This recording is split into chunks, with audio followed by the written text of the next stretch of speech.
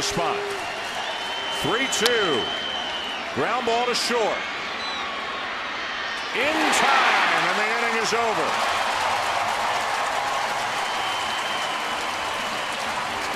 The Dodgers get three, but the Giants still lead going to the bottom.